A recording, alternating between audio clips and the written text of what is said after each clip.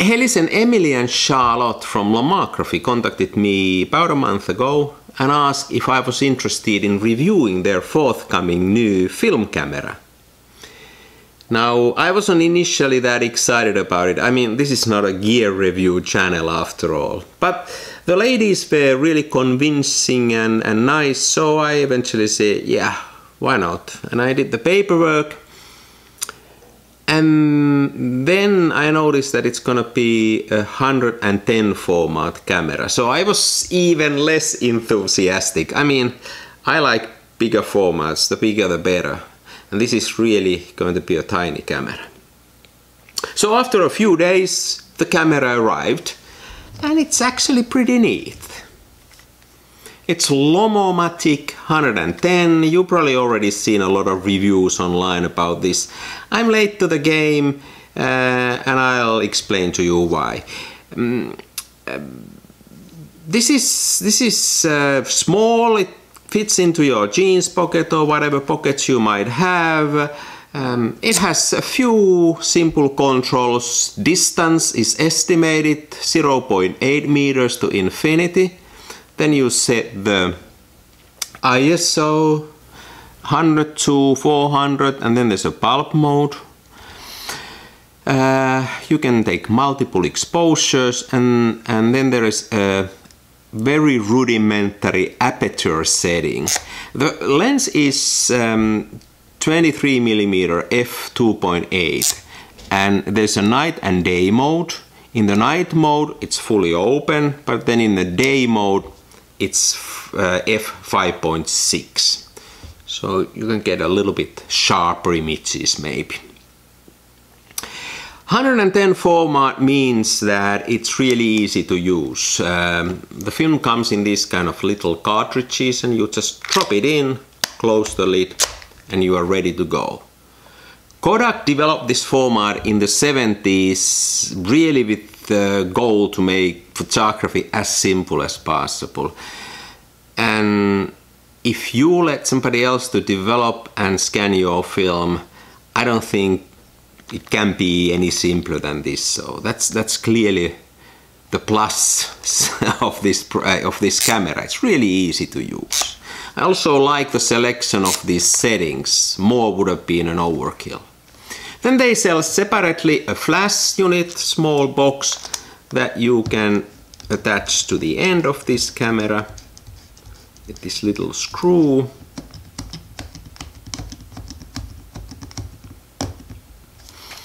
and it doesn't really change that camera so much. So, but now you get a flash. I put some black and white film into it and went to the local park to shoot some winter landscape in black and white. That's what I do.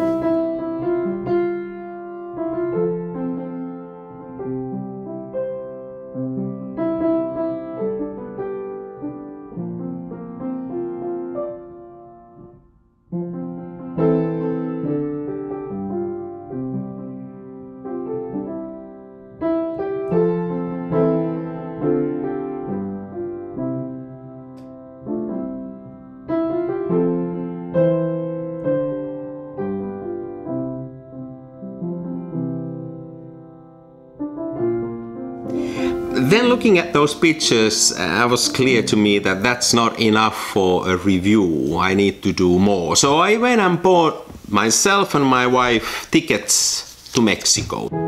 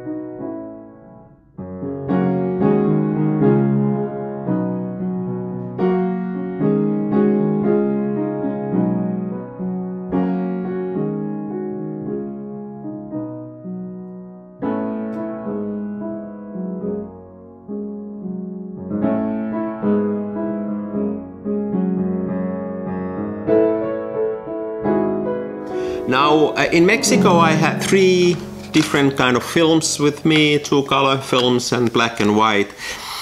Uh, Lomography is the only company who makes these films nowadays. I don't mind. I mean, it's, there's a nice selection of film, but I said only from Lomography. Now, uh, while I was aimlessly shooting with this camera on the streets of, of Mexico City, my wife asked me that, hey, now since you are working so hard, um, is Lomography paying us? Are they compensating the trip to Mexico and how our hotel accommodation and all the expenses? And I said, yeah, that's my understanding. I mean, I signed the contract, so I expect them to fully pay all the expenses. So we bought more tickets and we flew to the coast and, and I took more pictures.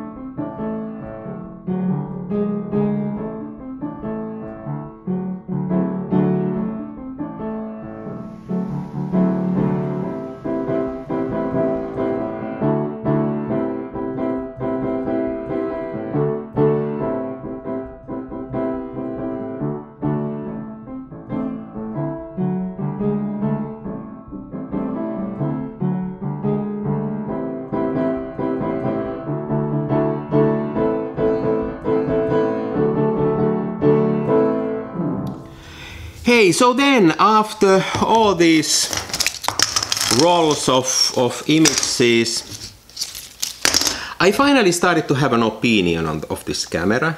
And like in all the good reviews, I made myself a pros and cons list, the back of an envelope.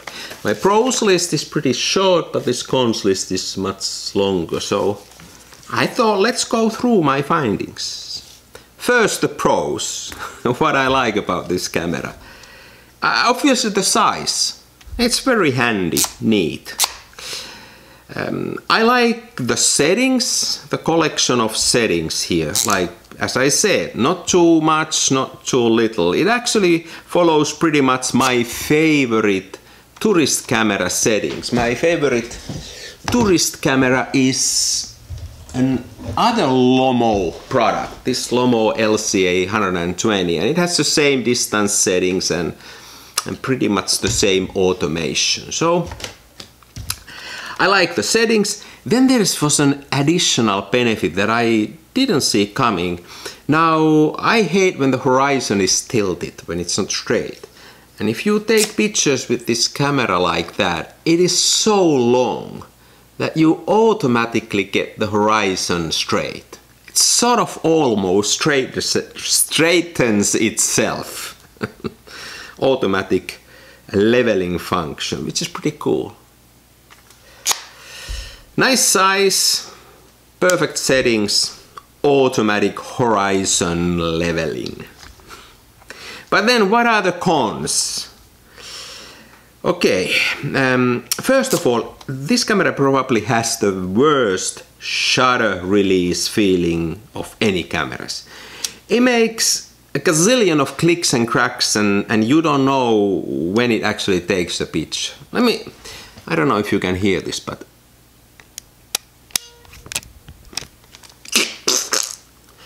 and it doesn't seem to affect the final picture, but I'm always a little bit like, did I really take the picture or did I just squeeze the camera? so I don't like the feeling of it. Then I'm not exactly sure how to hold this camera. I mean, if you take the uh, horizontal picture like that, that is pretty clear. But then if you take vertical pictures like that, you know, you easily put your hand in front of the uh, flash or then in front of your uh, taking lens and, and, and, and it's really, I never really learned to use it like this, which is a pity because I'd like to take mostly pictures like this. Maybe it's just me, maybe I would get used to it eventually, but I found it a bit complicated. Uh, this flash attachment feels a bit fragile. That's the third thing that worries me. Um, I, I think it's eventually gonna break. So this is a prototype, so maybe they get it sturdier in the final product, but it's a bit loose feeling. Then the lens. I mean, it's um, f2.8, which is pretty nice, but it, I wish it was larger. You know, larger format, larger lens. Like now it feels pretty much like a normal lens, and wider would have been nicer for this kind of a tourist pitch, tourist camera. Yeah. Uh, then uh, also this lens produces pretty nasty flare if you shoot directly at the sun, which I do pretty often. Uh, the lens and the focusing lens or focusing hole, they are pretty far away from each other. So that means that you get a parallax error. Especially if you take close-up pictures, then it becomes pretty noticeable. And I lost quite a many heads in my portrait pictures. And I didn't really take that into account. So that was a pity. Then the last image problem. If you if you have um, taken all your pictures and then you move it to the beyond the last image, like you end the roll, then you can't close this camera anymore.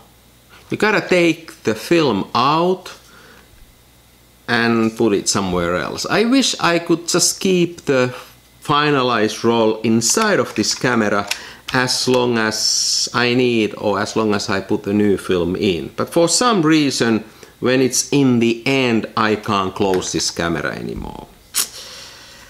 I don't know why they make that kind of a design decision. And then last but not least on my cons list, um, it doesn't take very good pictures. That's a pity.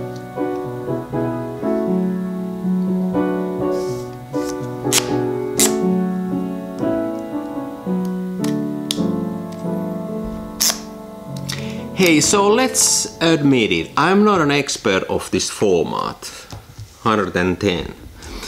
So, after my initial disappointment about the image quality, I thought, let me dig a bit deeper. Why is it that the images are what they are? And I started to narrow it down a bit. I think it can be the film quality, I mean, these are lomography films, so I don't know what they are. It may be uh, that the camera is bad.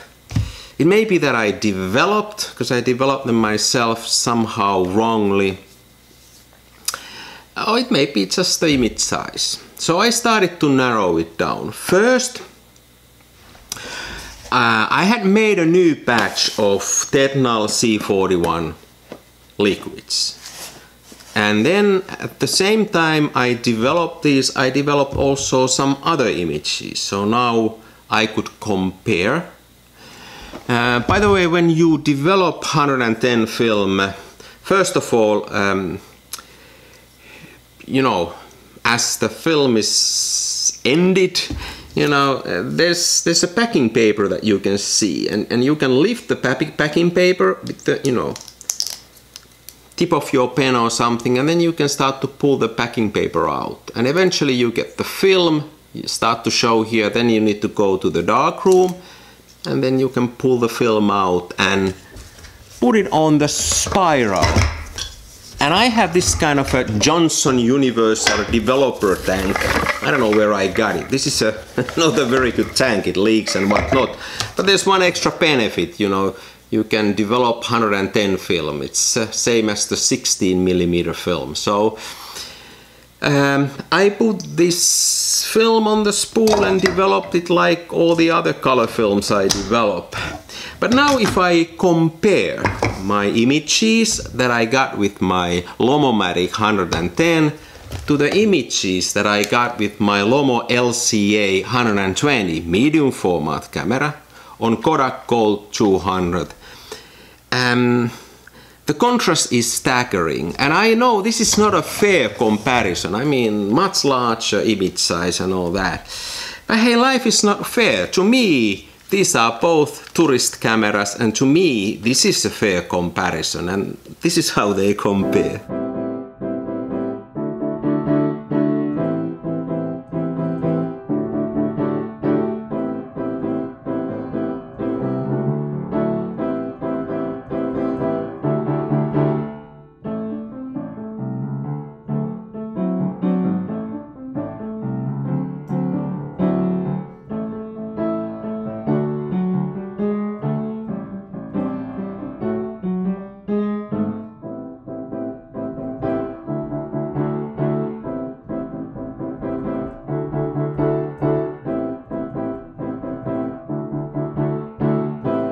Then I thought, what if the problem is the scanning?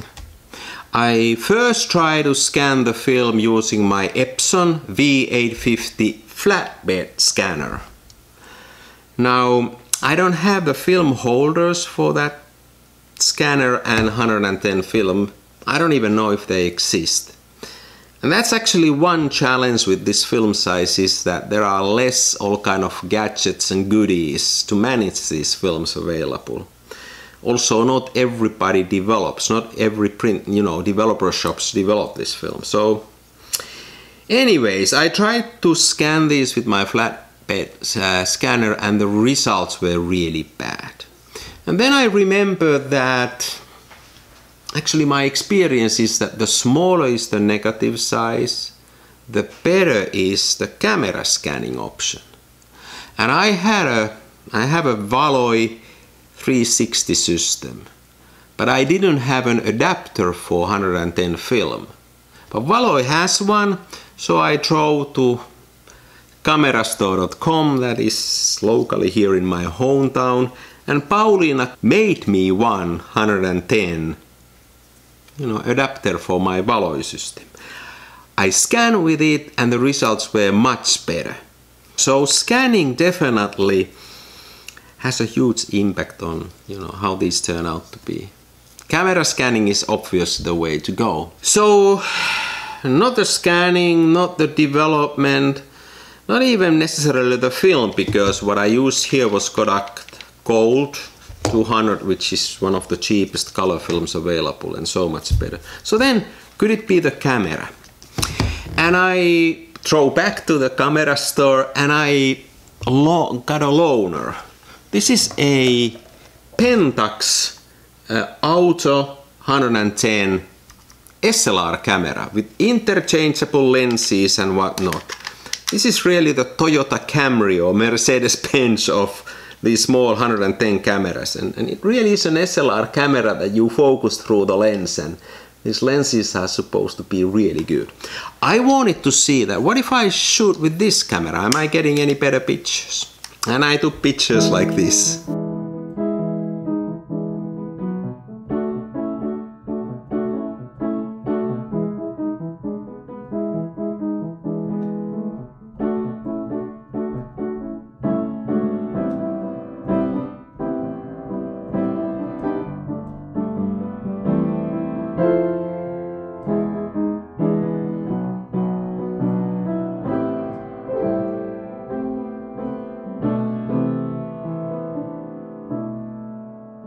As you can see, they are no better than with my Lomomatic 110. So the camera is as good as the best possible camera.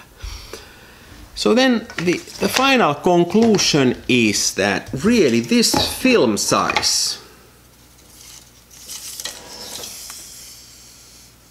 you know such a small strip takes 24 images. This is simply so small that all the grain and all the dirt and all those things get amplified.